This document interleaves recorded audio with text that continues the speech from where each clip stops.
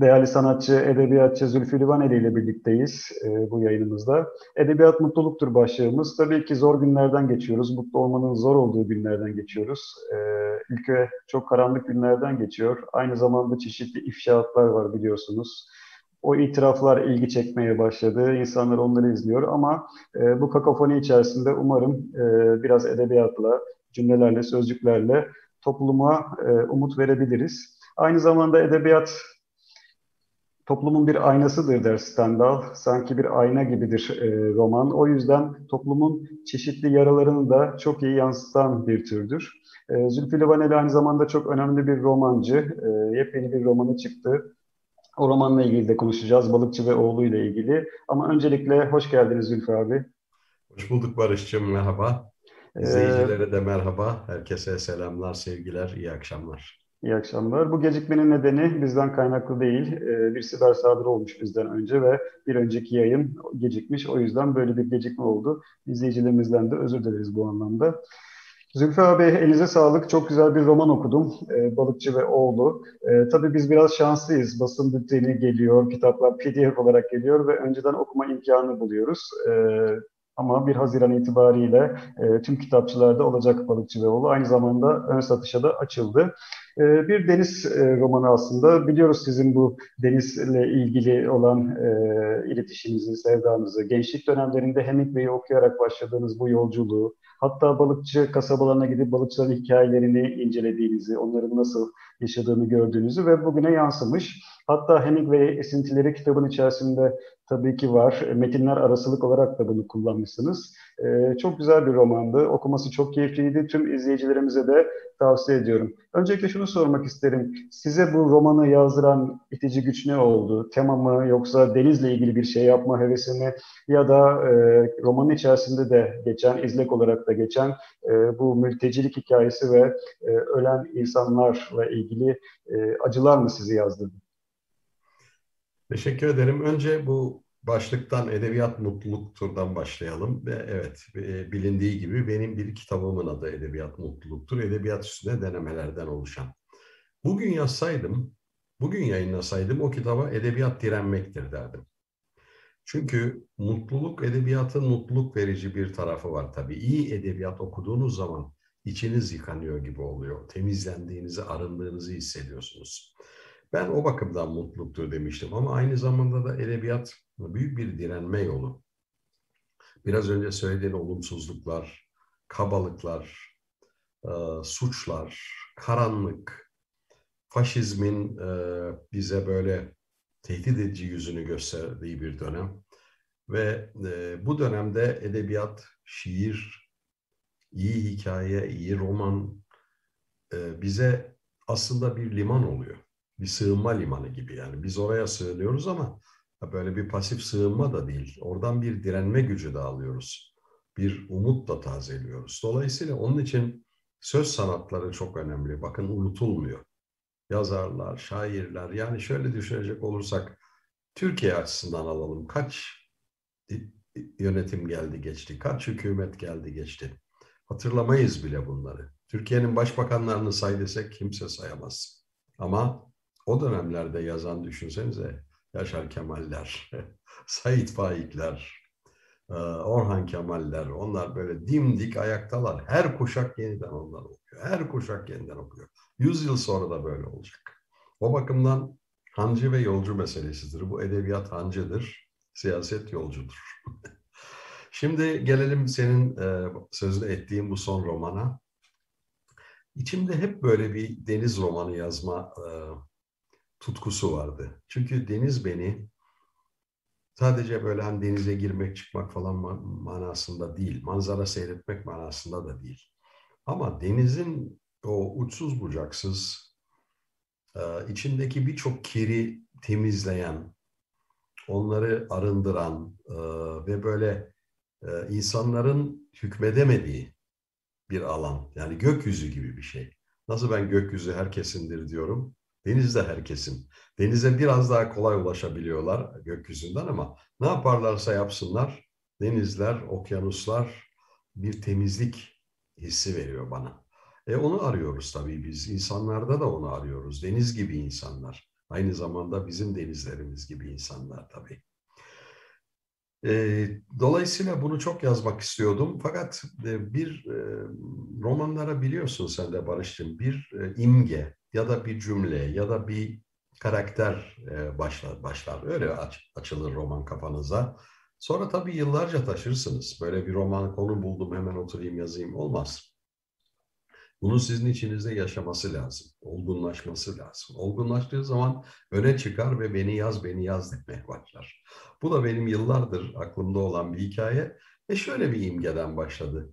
Ee, bir tanıdığım denizde böyle küçük motoruyla giderken bir e, göçmen cesedi, bir şey görüyor bir cisim. Göçmen cesedi olduğunu anlıyor. Bağlıyor onu, onu getiriyor. Bu imge e, inanılmaz bir şey. Yani Akdeniz'de yaşanan zulmü, e, yapılanları falan anlatan bir şey. Fakat sonra tabii bu imgeyle roman olmaz. Daha sonra o balıkçı, balıkçının hanımı, balıkçının eşi, yaşananlar, emekçiler, deniz emekçilerini anlatıyorum ben burada. Yani tuttuğu balığı yiyemeyen, hani e, inşaatında çalıştığı villaya giremeyen işçiler gibi, emekçiler gibi tuttuğu o pahalı balıkları yiyemeyip lokantalara satan, o lokantalara da adım bile atamayan ama e, e, işte küçük balıkları falan yiyerek e, geldi ama ekmek kapıları olan denizlerine de çok şeyin musallat olduğu, balon balıkları, hava kirliliği, ısınma, deniz e, küresel ısınma, ondan sonra denizin dibini tarayan böyle sonarlı gemiler, denize akan e, e, pislikler, bütün bunlarla kendi köylerini de maden arayanlarla, ormanları kesenlerle, beş yıldızlı otel dikmeye çalışanlarla, HES'lerle yani İkizdere'de ne görüyorsak, Artvin'de ne, Gaz Dağları'nda ne görüyorsak onlar da giriyor. Ama niye giriyor? Bunu herhalde şimdi seninle konuşmamız lazım. Niye giriyor romana bunlar ve nasıl giriyor? Evet, e, bunların hepsini tabii konuşmaya başlayacağız birazdan. Öncelikle şunu sormak isterim. 140 sayfalık bir roman. E, ben tabii bir oturuşta okudum. Bu akıcılıktan kaynaklıydı. E, çok akıcı bir kitaptı.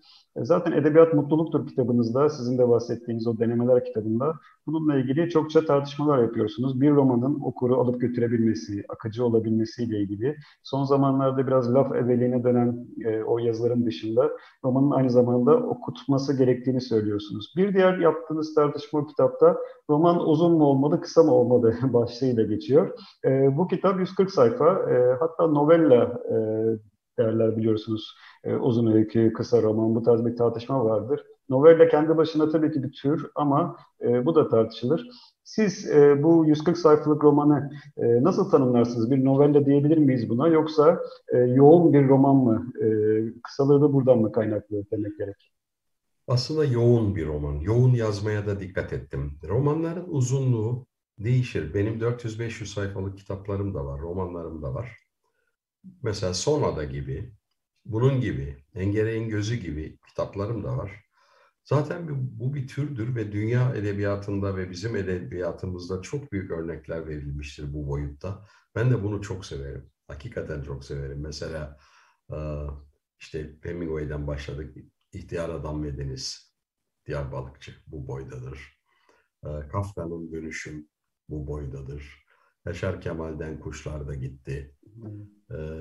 Steinbeck Fareler ve İnsanlar gibi çok böyle bu boyutta kitap var ve bu boyut eski deyimle hani ayarını, mani, efradını, cami derler ya. Yani söylenmesi gereken her şeyi söyleyen ama söylenmemesi gereken şeyleri de dışarıda bırakan. Ben şuna inanıyorum. Ben sanat anlayışında, müzikte de buna inanıyorum. İnsanların üstüne gidip her şeyi böyle onlara ıcık cıcık anlatmaya gerek yok. Göstermek lazım. Mesela Victor Hugo ne diyor? Ee, Ey şair e, bana yağmuru anlatma, göster diyor. Göster ya da yağdır. Bizim onu hissetmemiz ve daha sonra bir alan bırakılması lazım bize. Mesela bir buzdağının üstünü görüyoruz ama onun ondan ibaret olmadığını biliyoruz altında ne kadar büyük bir dağ olduğunu. Öyle bir roman anlayışına ben çok yakınım. Bir de okunma meselesinde şunu söyleyeyim. Her yoğurdun bir e, her yoğurdun yiğit yiyişi vardır o da olabilir bize de. her yiğidin bir yoğurt yiyişi vardır. her yazarın bir üslubu var. Elbette ki değişik bir okuma biçimleri de var. Ama ben şunu çok seviyorum. kitap lezzet vermeli. Yani okurken bizi içine almalı. Ya bıraktığımız zaman ya dönsem de şu kitaba devam etsem denmeli. Bu çok önemli bir şey. Haz duygusu, okuma hazzı, okuma tadı. Bunu ben çok önemserim. Bakın son yıllarda bu postmodern modasından sonra Amerika'dan yayılan bir şey var, bir moda var. Efendim kolay okunan kitaplar edebiyat değildir. İlla işte zor okuyacaksın. İki üç cümlede bir böyle durmazsan okuyamazsın. Bunu kim söylüyor? İşte bir takım e, Amerika'da yeni çıkmış yazarlar söylüyor. E peki dünyaya bakalım. En çok okunan yazarlar milyonlar milyonlar hatta yüz milyonlar tarafından okunan kimdir? Dostoyevski'dir. Tolstoy'dur. Ee, ya da işte e, Flaubert'dir. Dickens'tir. Bunlar fasiküller halinde yayınlanır ya da gazetelerde tefrika edilirdi. İnsanlar kendilerini paralarlardı bir an önce okumak için. Bunlar kötü yazarlar mı? Bunlar popüler yazarlar mı? Yani mutlaka deneysel edebiyatta yapılabilir. Mutlaka James Joyce'un Ulysses'i gibi ya da Robert Musil gibi de şeyler yazılabilir ama bu deneysel edebiyattır. Onun dışında edebiyat hem derin hem doğru fikirlere sahip hem de bunu iyi ifade eden bir kitap olması lazım. İyi ifade edemediğiniz zaman işinizi yapamamışsınız demektir. Bana öyle geliyor. Ve Borges'in söylediği bir şey var ya, eğer bir kitap size kendini okutamıyorsa hemen bırakın diyor. Çünkü dünya okunması gereken çok güzel kitaplarla dolu. Ben de öyle düşünüyorum. Alıyorum gerçekten şöyle 20-30 sayfa okuyorum. Ve bakıyorum ki ya yani beceriksiz yazar. Sen biraz bekle kardeşim diyorum. Bir yere koyuyorum. evet bu e, kitabınız Aynı zamanda tabii bizim de e, buralarda geçiyor. Ege yöreleri, Giritliler, e, benim de araştırdığım konular bunlar. O yüzden de çok ilgimi çekti tabii ki. E, ama sizin bir atmosfer kurma yönteminiz var. Aslında üslup e, romanı belirliyor, roman da üslubu belirliyor. Böyle bir diyalektik ilişki kuruyorsunuz. Ee, burada da mesela Engel'in gözündeki sözcükler yok. Daha çok e, balıkçı diliyle bir Ege kasabasındaki sözcükler kullanılmış. E, daha farklı bir e, üslup seziyoruz. Her romanın kendi üslubu olmalı tabii ki. Siz de böyle bir seçim yapmışsınız. Bu anlamda bu romanı okuyan kişi kendisini o atmosferin içerisine kaptırıveriyor. Bu üslup seçiminden biraz bahsedebilir misiniz acaba? Ee, Yaşar Kemal'in edebiyat üzerine, roman üzerine ne kadar çok düşündüğünü biliyoruz. Sen de biliyorsun Barış'cığım. Hakikaten edebiyat konusunda dünyada belki en çok kafa yoran insanlardan biriydi. Çok ünlü bir yazar. Dünyaca ünlü, Türkiye'de ünlü, bilmem 30. romanını yazacak ama hala kafa yorardı bu konuda. Ve onunla konuştuğumuz şeylerden birisi şuydu. Haklı olarak derdi ki her roman kendi biçimini getirir. Biçim konusunda uğraşma. Yani ben şöyle yazayım, şu tarz getireyim falan. Hayır, her roman kendi dilini ve kendi biçimini getiriyor. Engere'in gözü o dili gerektiriyordu ve o doğal olarak öyle oldu. Serenat'ta ben bir kadın ağzından birinci şahıs yazayım diye başlamadım. Doğal öyle geldi. Son ada o şekilde geldi. Bu bambaşka bir biçimde geldi. Konstantini Oteli ise iyice farklı bir biçimde geldi. Yani her roman gerçekten kendi dilini ve biçimini yaratıyor. Sizin e, anlatma yeteneğinize bağlı. Tabii şunun anlaşılmasını istiyorum. O kadar aşırılaştı ki dünyadaki tartışmalar, politikadaki gibi, siyasette de böyle tartışılıyor. Her şey karşıtıyla birlikte bir kamplaşma, kutuplaşma vesilesi oluyor. Efendim diyorlar ki işte konu önemli değildir, işlemek önemlidir. Öbürü diyor ki hayır konu çok önemlidir. Konu olacağım yanında. Ya kardeşim deveye sormuşlar. Yokuşu mu seversin inişi mi? Ya düzü yok mu bunun demiş. Konu da önemlidir. Onu işlemek de önemlidir. Bu da yazarın nefesiyle ilgili bir şey. Bunun niçin tartışılıyor bunlar? Ben bunu gerçekten anlamıyorum. Sadece biçimden ibaret bir kitap olabilir mi? Kötü bir biçimle sadece konudan ibaret bir kitap olabilir mi? Olamaz elbette. O yüzden e, bunları üzerinde düşünerek çok ayırmak lazım. Fakat ben her zaman hayatımda e, büyük halk kitlelerinin e, yargısına, zevkine güvendim. Müzikte de öyle yaptım. Ve sonunda da haklı çıktım. İnsanlar anlıyor. Okurlar gerçekten anlıyor. Boşu boşuna kitap okumak, para vermek, vakit vermek istemiyorlar ve çok haklılar. Çünkü bu bir iddia. Herkesin bir hikayesi var. Herkes anlatır, arkadaşlarıyla oturur, konuşur falan. Yani herkesin hikayesi var. Sen bir iddiayla çıkıyorsun. Diyorsun ki ya bakın ben size bir hikaye anlatacağım. Gelin bak çok zevk alacaksınız. İşte bu basıldı, edildi, bunca insan çalıştı, çalıştı emek harcadı, dağıtıldı, eline ulaştı. Bir para verip alacak, bir de zaman verip okuyacak. Ya buna layık olmak lazım. Bu çok büyük bir sorumluluk.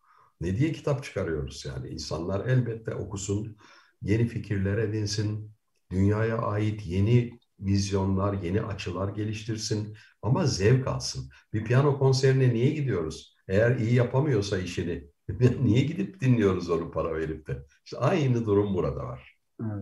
Biraz da bir deneysel yapacağım diye de böyle sizin de söylediğiniz gibi durumlar açığa çıkabiliyor. Hatta sizin e, bir yazınızda okumuştum böyle bir e, ressam pek de resim yapmayı bilmiyor aslında. Nokta gibi bir şey çiziyor tabloya. İşte deneysel çalıştım diyor. E, onun gibi bir durum söz konusu olabiliyor. E, şimdi efendim tekrar kitabınıza dönersem eğer Balıkçı ve Oğluna Mustafa Mesude ve e, Samir Bebek e, var aslında. E, tabii adı Deniz. E, denizden bulmuş e, bulunmuş bir bebek e, ama aynı zamanda oğlunu e, denizi yine denize vermiş bir çift. E, bunlar tabii ki Samir bebeği sahipleniyorlar ve ondan sonra başlarından pek çok şey geçiyor. Fakat burada arka planda başka mevzular da var aslında. Balık çiftlikleri örneğin. E, bu balık çiftlikleriyle ilgili balıkçıların yaşadığı problemler. E, yine işte bu taş ocakları, madenler gibi çevre katliamı ile ilgili kimi sorunlar atmosferde arka planda görüyoruz. Fakat burada siz mesajınızı açıkça vermek yerine kahramanların dilinden, onların gözünden, onların çabalarıyla e, vermeyi seçmişsiniz. E, daha iyi olan bu sanırım değil mi? Yani bir mesajı e, romancı, edebiyatçı açıkça iletmek yerine e, bu tarz konu içerisinde, olaylar içerisinde verse daha iyi olur diye düşünüyorum. Tabii. Çok doğru söylüyorsun. Biraz önce söylediğin Stendhal'ın böyle bir ayna gezdirmek. Bir ayna gezdiriyorsun, onun gördüğü şeyleri yansıtıyorsun. Ee, ve yarattığın karakterlerin bilinçlerine ya da bilinçaltlarına yansıdığı kadarıyla veriyorsun olayları. Çünkü herkes bir çevre içinde yaşıyor. Herkes bir iklim, bir klima içinde yaşıyor. Herkes bir emek mücadelesinde. Ee, mesela Yaşar Kemal'de de, William Faulkner'da da o pamuk e, üretimini, güneşin altında terleyen insanları, emekçileri ve onların oradaki e, atmosferlerini, klimayı bile hissedersiniz. Derinize yapışır neredeyse. Markez'i okuduğunuz zaman Karayip Denizi'nin tuzu, onun o nemi gelir. Yani burnunuza o gelir. O denizden gelen kokular gelir. Yani bunlar e, çok önemli şey. Klima bile önemlidir.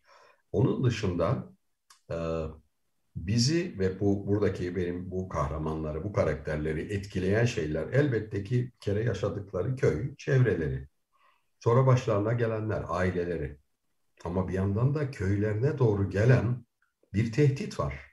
Hem denizden geliyorlar, hem havadan hem karadan geliyorlar ve bunları e, inanılmaz bir şekilde ormanlarını kesiyorlar. Siyanürlü altın arabalar, siyanür akacak korkuyor insanlar. Yani yüzlerce, binlerce yıldır kalmış olan o toprak, o coğrafya parçasını şu anda paramparça etmek üzereler. Denizlerini de kirletiyorlar balık çiftlikleriyle. Balık çiftlikleri dünyada var, yok değil. Mesela somon balığını bugün, e, evet çoğu yediğimizin çoğu çiftlik. Yani o wild salmon dedikleri e, yaban vahşi şey çok az. Ama nereye yapılıyor? Bunun kuralları var, yasaları var. Açık denize yapacaksınız. Açık denizde yani akıntı onu alıp götürecek. Çünkü müthiş böyle bir kirlilik oluşuyor. Antibiyotikler çöküyor. Yani o plastikler çöküyor falan çok kirli bir şey. Ama denizin hemen yani kıyısına koyunun içine yaparsan kolay tabii. Ulaşım kolay, getirip götürmek kolay. Öbür zahmete girmiyorlar. Çünkü koyun ölmesi, denizin ölmesi umurlarında değil. Şu anda bu genel bir sorun Türkiye'de. Hepimiz biliyoruz işte. Yani insanların artık e, arsızlık derecesinde mi diyeyim daha da kuvvetli bir laf bulmam lazım. Edepsizlik seviyesindeki bu saldırıları. Ya bu toprağa saldırıyorlar, insana saldırıyorlar, kadına saldırıyorlar, hayvana saldırıyorlar, çocuğa saldırıyorlar, ağaca saldırıyorlar, dereye saldırıyorlar ve yasa yok. Bunların önünde hiçbir şey direnemiyor. Geliyorlar ve devlet saldıranları koruyor. Saldırıya uğrayanları değil. Yani akıl dışı bir dönem yaşıyoruz. O bakımdan elbette ki romanda ben özel olarak bunu anlatacak, bunu bir şeyde de anlatabilirsiniz. Yani bir araştırma kitabıyla da anlatabilirsiniz ama benim yarattığım karakterlerin hayatlarını tehdit eden bir şey olarak anlatıyorum. Ekmek kapıları. Şimdi o balon balıkları mesela çok ciddi bir problem. Daha da ciddi olacak bu sene. Çünkü e, yani gerçekten doğal yaşamı tehdit ediyor. E, balon balığı ve aslan balığı. Bunlar bu Süveyş kanalından geldi ya da o e, kitapta anlatıyorum. E geldiler şu anda bitiriyorlar bizim. E, onları yiyebilen bir balık yok bizim denizlerimizde ama onlar her balığı yiyor. Dolayısıyla hem balığı azaltıyorlar hem bu işte deniz kirliliği bazı koylar yeşile döndü. Deniz işte dediğim gibi bunlar insan hakları da böyle. Neresinden tutacaksın? Yani biz öyle bir dönemde yaşıyoruz ki yasalar uygulansın demekten başka hiçbir şey demiyor. Ya yasalar uygulansın. Tek dileğimiz var. Her konuda yasalar uygulansın. Ama yok. Uygulanma. Tabii çok e, duyarlı bir sanatçısınız, bir edebiyatçısınız. E, okuduğumuz her kitapta aslında bugüne dair, bugünün meselelerine dair de pek çok şey çıkarıyoruz. Örneğin Engel'in gözündeki kamaşmayı okuyan bir kişi o e, iktidarla kurulan ilişkiyi, iktidarın nasıl göz kamaştırdığını e, ve aslında ne kadar da sorumlu bir ilişki olduğunu fark edecektir. Bugün de görüyoruz kimi gazeteciler, kimi yazar olduğunu söyleyen kişiler çeşitli güç odaklarıyla, mafyayla, iktidarla çeşitli temaslar içerisinde. E, tabii ki nereye gelmek istediğimi fark etmişsinizdir. Son zamanlarda çok tartışılan bir mesele var. E, insanlar izliyor, milyonlar izliyor. İşte bir mafya lideri çıkıyor, konuşuyor. Bir kısmı ondan umut devşirdi. Ya bu çok konuşursa belki hükümet düşer gibi düşünüyor. Bir kısmı da aman önemsemeyelim zaten biliyorduk diyor. Yani e, böyle bir durumda bir sanatçı olarak, bir, bu ülkenin çok önemli bir aydın olarak ne gibi bir düşünceniz var? Nasıl olacak? E, buradan nasıl bir çıkış olur? Bakın, e, ben tarihi şöyle algılıyorum. Sıfır noktası yok tarihin. Yani ben kendime bir sıfır noktası aldım. Ondan öncesi beni ilgilendirmiyor. Bundan sonrasıyla ilgilenirim. Uzman olarak ilgilenebilirsiniz ama belgeler incelersiniz falan. Ama yorum yapacaksanız böyle diyemezsiniz. Çünkü tarih bence aksiyon ve reaksiyondan ibaret. Yani aynen fizik kuralları gibi. Aynen e, Newton yasaları gibi. Bir şey oluyor, ona karşı bir e, hareket beliriyor. Bunun bir diyalektiği var. Şimdi böyle baktığımız zaman bizim ülkemize kısacık bir dakikalık bir özet yapacak olursam Osmanlı İmparatorluğu'nun batı tarafından devleti muazzama denilen büyük devletler tarafından bilinçli olarak parçalandığını biliyoruz. Bu parçalanmayı da neden yaptılar? Çünkü o dönemdeki petrolün yüzde 55'i bizim topraklarımızdaydı. Dolayısıyla bunu e, ele geçirmek için ne yaptılar? Etnisiteleri birbirine düşürdüler. Yani o onunla savaştı, bu bununla savaştı. Daha sonra Osmanlı'ya karşı kurtuluş savaşlarını veren her ülke kendi ulus devletini kurdu. Önce Yunanistan 1821'den başlayarak o isyan hareketiyle, Moray'la. Daha sonra biliyoruz Karadağ'dır e, ilk isyan eden Balkanlarda. İşte Sırbistan'dır, Bulgaristan'dır, öbür Eflak Boğdan dediğimiz bölgedir. Mısır zaten başka bir statüyle ayrıldı. Sonra sıra Arap ülkelerin, Arap nüfusa geldi. Onlar da birbirine düşürüldü. Burada geç kalanlar, yani bu uluslaşma ki o dönemde hatırlayın yani o dönem 19. yüzyılın başı bütün imparatorlukların çöktüğü, imparatorların idam edildiği aileleriyle beraber yerine ulus devletlerin kurulduğu bir dönem. Türkiye'de bunun dışında kalamazdı elbette. Ulus devlet e, kurulmasında Türkler en geç kalanlardan biridir aslında. Yani ne yazık ki Ermeniler çok geç kalmışlardı ve Ermeniler çok acı bir şekilde e, yani o bir akıbete uğradılar. Türkiye Cumhuriyeti'nin kuruluşunda da şöyle bir şey vardı tabii. Biz e, parçalandı. Vatanımız 2,5 milyon kilometre kare toprağımızdan olduk. Elimizde bir tek Anadolu kaldı. Orada da bizi sıkıştırdılar. Bize Lloyd George'un sözüyle bu barbarlar Orta Asya'ya gitsin sürelim demişti.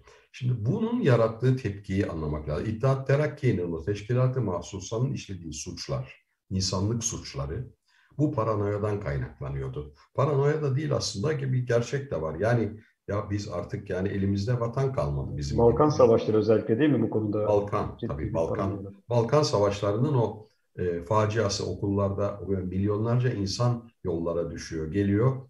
Okullarda gözyaşı dökülüyor. Onlar cami avlularında, evlerin bahçelerinde, resmi dairelerde kalan bir, bir buçuk milyon insan az buz bir şey değil. Sonunda bir düşünün ki sizden her gün bir et koparılıyor. Mesela bugün düşünelim, tahtaya vuruyorum. İzmir'i kopardılar, İzmir. E Selanik koptu aynı şey değil mi? Selanik bizim İzmir kadar önemli. En az İzmir kadar önemli bir yerimizde. Bir gün o gidiyor, bir gün bu gidiyor, bir gün bu gidiyor. Her gün kalkıyorsun ki bir parçan gitmiş senin kolun bacağın. Şimdi bu gerçekten Osmanlı'ya karşı yapılan bir plandı. Sonra buna karşı reaksiyon olarak ortaya çıkan e, işte Enverler, Talatlar, Cemaller önce İttihat ve Terakki diye çıktılar. İttihat ne demek? Birleşme.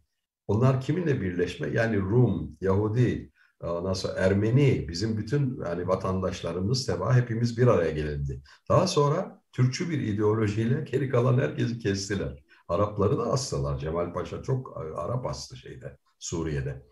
E, bunlar müthiş suçlar işlediler halklara karşı. Sonra da zaten cezalarını buldular. Ama bunların içinde bir de akılcı taraf vardı. O akılcı taraf, iddiatçı olmayan ve bunlara katılmayan bir Mustafa Kemal vardı. Mustafa Kemal'in düşüncesi farklıydı. Yani bir düşmanlık ve kan dökme üzerine değil. Ya biz bir ulus devlet yapıp kendimizi işte böyle burada tarif edelim, tanımlayalım ne kadar yapılabildiyse. Sonra bu uluslaşma o zaman anlıyorum ama 100 yıl sonra, aradan 100 yıl geçmiş hala uluslaşma. Şimdi o İttihat Terakki kafası, Teşkilat-ı Mahsusa kafası buralarda devam etti. Ve bu e, derin devlet mi diyeceğiz? Derin devlet aslında tip bir örgüt değildir, bir anlayıştır, bir zihniyettir ve devam eder. Şimdi Türkiye Cumhuriyeti'nin böyle bir yapısı var. Gelecekler, parçalayacaklar, bölecekler, yok edecekler bizi gibi bir travmadan yola çıkıp bu sefer insanlık suçları işleyen Teşkilat-ı Muasson, İttihat Terakki'nin devamı gibi zihniyetler. Bu mafya dediğimiz şey de onların parçaları. Aslında bunlar işte Yakup Cemiller, değil mi? E, fedaileri vardı ya, İttihat Terakki'nin gazeteci öldürenler, suikast yapanlar. Hatta Mustafa Kemal'i öldürmek için üstüne gönderdiler. Yani git öldür. Evet hem de İzmir'i. Evet. Şimdi bütün bunlar, bu olayı ben buraya bağlıyorum. Şimdi şu anda da çok tehlikeli bir yapı var. Bir de o seferberlik tetkik dairesi, özel harp dedikleri ta 50'lerden beri gelen bir hareket var ki 6-7 Eylül'de yapmıştır. Diğer bir sürü hareketi de yapmıştır. Onlar da hala faal ve tehlikeli bir iç yapı var. Yani istediği gazeteciyi ortadan kaldırtıyor, karar veriyor diyor. Şu vatana yaralı değil, bu vatan haini kaldıralım. Bu bilmem ne. Ya kimsin? Kimin adına karar veriyorsun? Nasıl veriyorsun bu kararı? İşte bu çok tehlikeli bir yapı ve ben mafyayla maalesef bizim devlet iç içe geçmiş. Susurluk'ta da gördük, daha önce de gördük, şimdi de gördük. Ve bu şekilde olduğu zaman o Topal Osmanlılardan da falan gelen bir katliam geleneği de var. Yani o katliamı yapmakta hiçbir şey görmüyor vatan uğruna diyor. Dolayısıyla mafyadan Türkiye nasıl kurtulacak bilmiyorum. Çünkü mafyayı devlet bir e, öz evlatları gibi e, benimsiyor, içine alıyor, kırmızı pasaport veriyor, bilmem ne yapıyor. Düzene muhalefet eden gençleri, aydınları da yok ediyor. Böyle bir ülkemiz var bizim. Balıkçı ve Oğlu kitabında Mustafa e, karakteri aslında çok temiz kalpli bir karakter. E, efendim oğlunu kaybetmiş zaten. Bulduğu bir bebeği kurtarıyor. Aynı zamanda oradaki cesetleri çıkarıp gömmeye çalışıyor. Fakat daha sonra o çocuğu sahiplenirken tabii ki başından pek çok şey geçiyor. E, ama bu ülkede gerçekten böyle saf, temiz, iyi insanlar, emekçi insanlar var. Sizin romanlarınızda bunu zaten çok iyi bir biçimde hissediyoruz. Peki bize düşen nedir? Şimdi pek çok pislik ortalığa saçılıyor. E, efendim pek çok sıkıntı var. Şimdi yarın yine bir video çıkacak. İnsanlar yine bunu izleyecek. Bir süre sonra alıştık da buna. Bir taraftan gülüyoruz, bir taraftan böyle üzülüyoruz. Peki biz ne yapacağız? Yani insanlar çok umutsuz. E, bu işlerin değişmeyeceğini düşünüyorlar. Özellikle karşıdakini çok güçlü görüyorlar. Yani bunları yapan bir kişiyle biz baş edemeyiz. Gemiler, kokain, şu bu. istediklerini öldürüyorlar. Böyle bir yerde bize düşen nedir? Yani bu ülkeyi terk etmek değil e, durum. E, böyle olmamalı. Peki ülkemize nasıl sahip çıkmalıyız? Neler yapmalıyız? Ne dersiniz bu konuda? Ee, önce şunu söyleyeyim. Şimdi bir mafya tarafı konuşuyor, bir karşı taraf devlet tarafı. Şimdi hangisi doğru söylüyor? Bernard Shaw'un bir hikayesini hatırlıyorum ben. İki gün üst üste onu meşhur tenorların konserlerine götürüyorlar. İkisi de çok meşhur. Diyelim Pavarotti gibi falan yani o dönem. Ee, gidiyor. Sonra da diyorlar ki Üstad hangisini beğendin? Vallahi diyor biri viyaklıyordu. Öbürü de böğürüyordu. ya diyorlar Üstad yani sanatçılara bu ayıp değil mi böyle söyleme falan. Vallahi ben bir şey söylemiyorum. Birbirleri hakkındaki fikirlerini söyledim onların. İkisi de haklı dolayısıyla. Şimdi burada da her türlü şey ortaya dökülsün. Vardır ya eski bir şey vardır olsa kalmasın Allah'ın dünyada hiçbir şey nihan, gizli nihan kalmasın. Sayden dökülsün yani biraz böyle böyle arınacağız. Türkiye'de çok iyi insanlar var. Biz bunu görme şansına sahibiz. Biz okurlarımızla, e, dinleyicilerimizle, senin gibi imza günlerinde, at yaptığın o güzel atölyelerde, sosyal medyada görüyoruz ki vicdanlı insanlar var. Vicdan çok önemli bir şey. Politik olmayan konuları bile hani politik değil diyorlar bunlar. Biz her şeyin siyasal olduğunu söyleriz. Doğru. Mesela bir çocuk öldürülüyor. Hesabını soran yok.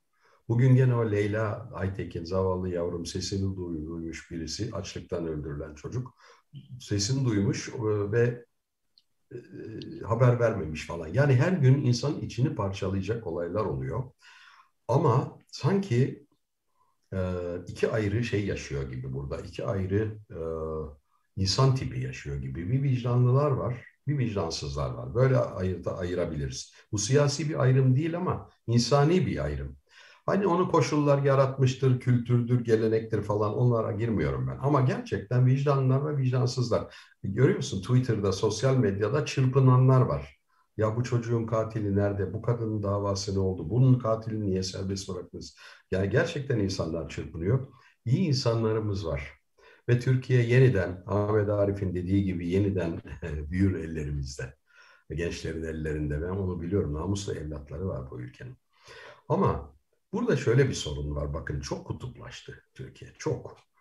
Bizim ya dünyaya bakışımız elbette ki soldur, sınıfsaldır ve e, dünyanın ve Türkiye'nin kurtuluşu, şu azgın kapitalizminden, bu aşılar insan sağlığında bile ortaya çıkan bu korkunç kapitalizmin e, boyunduruğundan kurtar, kurtarmak e, dünyayı ve ülkeyi ancak aklı başında doğru dürüst bir sol ve yeşil hareketlerin elindedir. Bunu artık çok iyi biliyoruz. Mesela Claudia Roth, Alman Yeşiller Başkanı, şimdi parlamento başkan yardımcısı e, burada Dün akşam konuşuyorduk. Yeşiller iktidara geliyor Almanya'da. Çok büyük bir ivme olacak bu. Böyle bir şeyi tetikleyecek bu. Almanya İklim kriziyle de birlikte. Yeşillerin iktidara gibi yeşil başbakan muhteşem bir şey bu. Çünkü artık bu eski sadece sınıfsallığı kapsamıyor. Bu hareketler kadın hareketlerini kapsıyor. E, diyelim gay haklarını kapsıyor. Ormanları, çevreyi, ağacı, hayvanları korumayı bunların tamamını kapsayan bir hareket artık yeşiller sol ve yeşil diyorum ya. Ee, bu, bu çok gerekli. Bizim ülkemizde de maalesef yanlış bir şey oldu. Şimdi gençlere söylesem mesela Ahmet Türk e, değil mi bir Kürt partisinin değil mi bir Kürt e, e soylusu hatta e, ve bir Kürt partisinin başkanıydı. Sonra da Kürt partisinin belediye başkanı oldu. Peki bir ara bu SHP CHP milletvekiliydi. Bunu söylesen kimse inanmaz. Çünkü öyle bir yerlere sürüklediler ki CHP sanki böyle bir milliyetçi parti. İşte HDP. Benim görüşüm şu kısaca söyleyeyim. Türkiye'nin namuslu, iyi insanları, ezilen insanları, sömürülen insanları aralarındaki çelişkileri giderebilmeliler. Egolarını yenebilmeliler. Ya senin dediğin mi olacak, benim dediğim mi olacak, senin imzan mı var, benim ismim mi var bırakıp, senin soyun bu, benim kökenim bu falan onu da bırakıp bir e, asgari hukuk ve demokrasi düzeninde buluşmak, asgari şartlarda bir e, demokrasi manifestosuyla birleşmek lazım. Biz e, Rıza Türmen ve başka arkadaşlar Ahmet Türk'te var. Bir şey demokrasi çağrısı, demokrasi kongresi çağrısı yaptık geçenlerde. Benim en büyük idealim bu, budur. Mesela bir ara Türkiye'de Kürt soluyla Türk solu beraberdi. Sonra bunu ayıranlar çok bilinçli olarak ayırdılar. Gayet iyi bilir. Şimdi bizim Türkler, emekçi Türkler, emekçi Kürtler, Aleviler, e, gençler, kadınlar böyle bir Yani bizi, biz çokuz, milyonlarca insanız. Bu milyonlarca insanın sesini sivil toplum vasıtasıyla çok duyuramıyoruz. Çünkü iktidar kimdeyse onun borusu ötüyor Türkiye'de, sivil toplumları.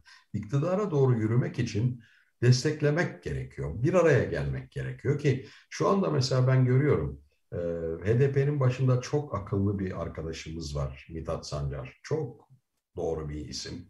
E, CHP'nin başında Kemal Kılıçdaroğlu ittifaka çok önem veren, böyle e, herkesle anlaşmaya çalışan yumuşak bir üslupla. Ben e, umutsuz değilim. Son yerel seçimlerde de düşünün ne oldu işte. Hiç kimse beklemiyordu. 11 büyük şehir gidiverdi bundan yerlerine. Gider. Mutlaka Teşekkürler. gider. Ee, şimdi tabii sizin söylediğiniz bu kutuplaşmayı belki de aşacak bir unsur da edebiyat oluyor. Çünkü edebiyat bir empati e, sanatı. Aynı zamanda başkası için düşünebilme sanatı. O yüzden e, belki gazetelerimizde kutuplaşıyoruz, sosyal medyada ama edebiyatta birleşiyoruz. Sizin romanlarınızı çok farklı kesimler okuyor. E, böyle bir birleştirici yönü var değil mi edebiyatın? Elbette var canım. Yani Nazım Hikmet nasıl birleştirici bir şeydi şair. Bizim edebiyat zaten bizim tutkalımız yani hepimizi bir araya getiren şey. Mesela e, çok hoşuma gitmişti. E, Selahattin Demirtaş hikaye kitabına benim bir şey yazmamı istemişti kapağına. Büyük bir zevkle ve onurla tabii ki yazdım. E, bu Mehmet Uzun rahmetli dostum arkadaşım. Şimdi bunlar o kadar önemli şeyler ki bizim aramızda zaten böyle şeyler olmuyor. Fakat bunu siyasete, topluma taşımaları lazım siyasetçilerin. Aklı başında ciddi siyasetçilerin ki öyle insanlar da var. Fedakar e, gidiyorlar. Kolay değil ama e, yapacak da başka bir şey yok. Yani Bertolt Brecht e, bu halktan çok şikayet edenlere Bertolt Brecht derdi ki o zaman kendimize yeni bir halk bulalım. kendimize yeni bir halk bulamayacağız ama bu halkın içinde umut kesilmeyecek kadar milyonlarca nitelikli insan var. Her zaman tekrar ediyorum. Bu insanlarla bir araya gelmek lazım. Geldiğimiz anda bu iş bitecektir. Biz bir ara 12 Mart'ta yurt dışına çıkmak zorunda kalan insanlarız ama canımızı kurtarmak için çıktık biz. Bu, yani gerçekten bizi işte hapishanelere aldılar, işkenceler, mişkenceler, o dönemin korkunç olaylarını biliyorsun. Denizlerin asıldığı dönem, Sinanların vurulduğu dönem. Orada canımızı kurtarmak için çıktık. Ama mü mücadeleyi burada vermek için de döndük geldik ve burada veriyoruz işte e, devamlı ve burada vermeye devam edeceğiz. Dışarıyı da fazla düşünmeyelim. Çok güzel bir e, son oldu. Zülfü Livaneli e, çok önemli bir kitap daha yazdı. Balıkçı ve Oğlu. İyi insanları görmek için hem yaşadığımız acılardan ders çıkarabilmek için hem de e, o atmosferde biraz deniz kokusu almak, biraz gerçekten vicdanlı insanlar görmek için tüm izleyicilerimize Balıkçı ve Oğlu kitabını tavsiye ediyorum. Bu yayına katıldığınız için de Sayın Zülfü Livaneli size çok teşekkür ediyoruz. Ee, İzmir Büyükşehir Belediyesi'ne ve Yaykop'a böyle bir etkinlik için çok teşekkür ederim. Ben de herkese teşekkür ediyorum. Barış'cığım senin gibi bir edebiyatçıyla, nitelikli bir dostumla konuşmak da zevk. Çünkü frekans çok iyi tutuyor. Daha nice buluşmalara o zaman. Çok sağ olun. Barış'cığım sağ ol. Teşekkürler. Değerli e, bugünkü programımızın sonuna geldik. Görüşmek üzere. Hoşçakalın.